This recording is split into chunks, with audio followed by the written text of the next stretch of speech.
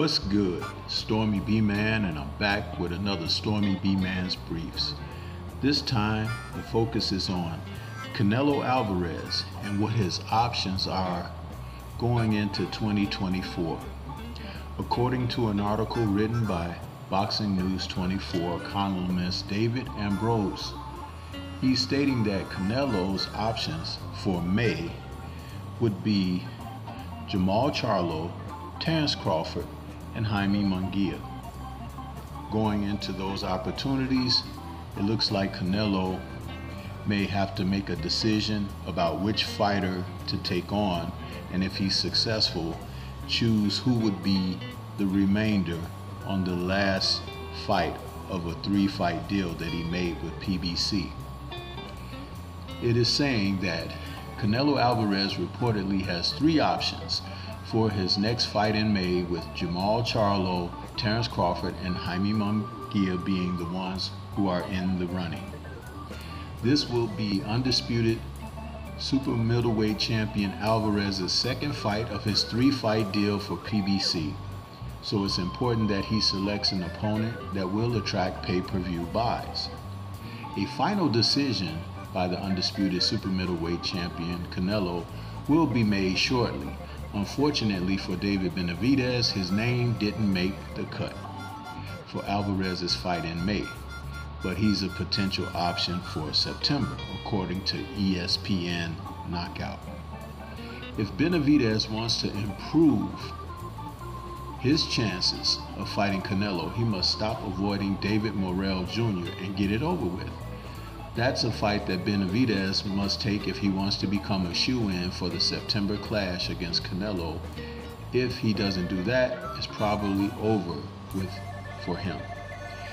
I want to stop right there for a moment and just speak about Canelo is hoping and wishing that as Benavidez takes on more opponents, that he'll eventually succumb to someone that will, in this event, upset him because he is the favorite going in. He's the uncrowned champion that they stripped the title from that allowed Canelo to become undisputed without facing him.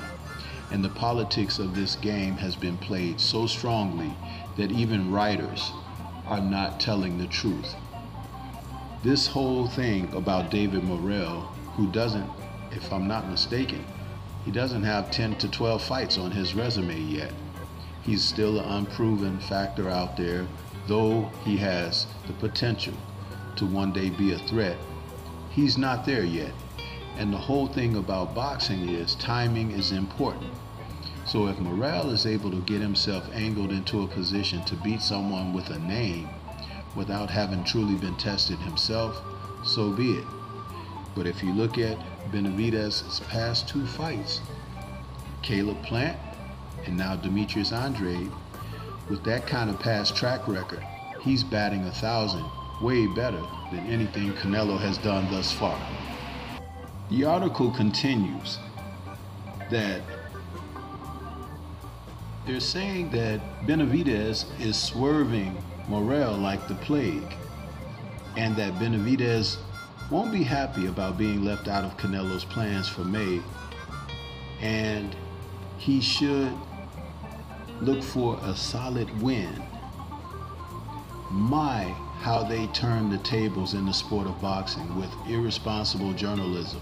If you were to read these articles for yourself, and the link will be in the description box, this article from Boxing News 24, they speak as if David Benavidez is the fighter that has to prove himself. What Canelo needs to prove is that these justified paydays, where these networks and apps have thrown so much money at him, that he feels that he can do as he pleases.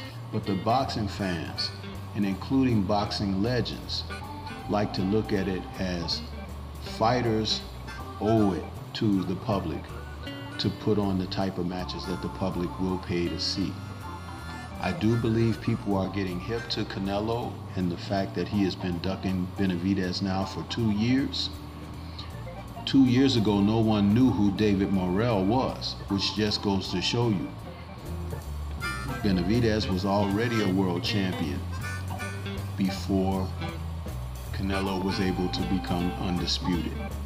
And so that's the man that Canelo needs to face, or he needs to get out of the sport of boxing. It's as simple as that, and there is no other line to this story but the truth. But what do you think? This is Stormy B Man. Shout out to the mighty LDBC and Liberated Perspective. Peace to everyone out there, and everyone, please remain safe.